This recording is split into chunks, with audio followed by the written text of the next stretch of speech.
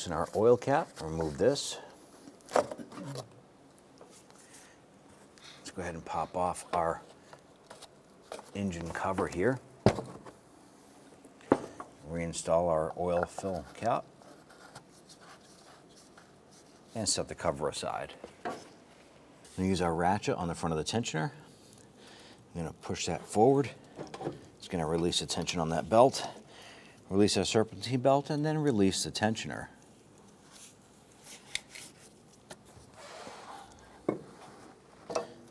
Now go ahead and remove the belt.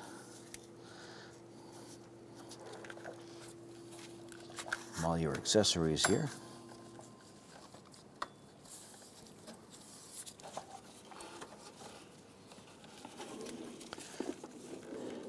If you want to, you can take a picture of the front of the motor uh, so you remember the belt routing. This has nine pulleys on here. Can be confusing when you go to reassemble. Take a picture, you can do a drawing. It's best to document the route so you don't take a 10 minute job and turn it into a two hour job.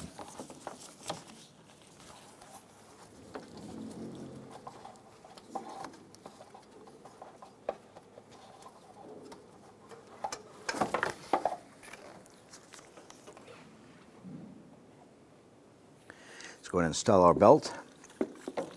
This is the point where your picture that you may have taken earlier will come in handy or your drawing.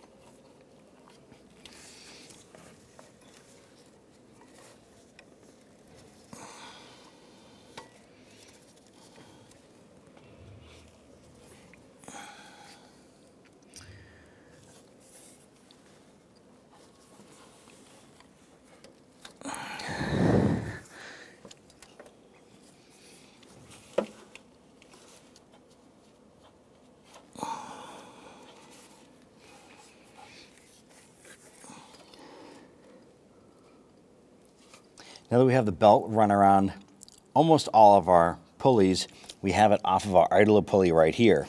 We're going to bring up the tensioner and then we're going to pull this belt and put it underneath this idler pulley here.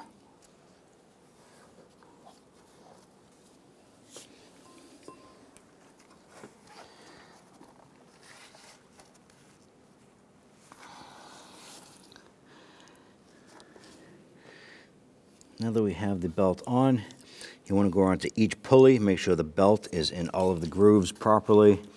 Power steering, idler, alternator, tensioner, idler, water pump, crankshaft, AC, and idler. Everything looks good.